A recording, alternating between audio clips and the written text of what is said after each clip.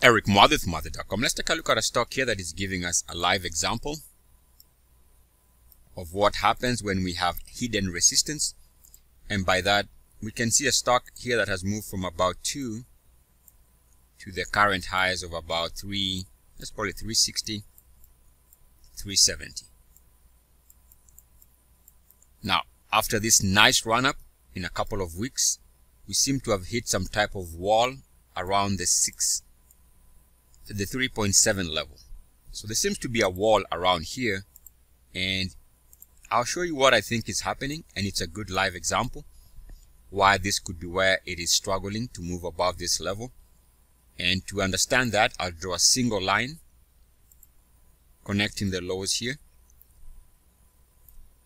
And what this line gives us is it connects to the lows here, close enough there, we touch it here, and then notice what happens when we broke below that level.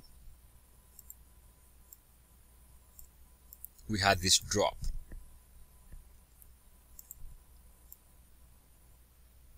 And of course after that we went on even lower. So right now we are rallying all the way back to test the same level.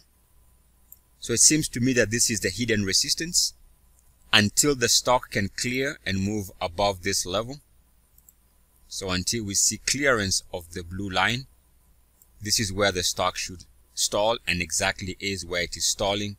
Failure to move above the red line, in other words, continued confirmation of resistance here, suggests that the next meaningful swing trade for this stock is to the downside. It's a good live study. Eric Muathe with Muathe.com as always good luck. Peace and blessings. E a C podcast.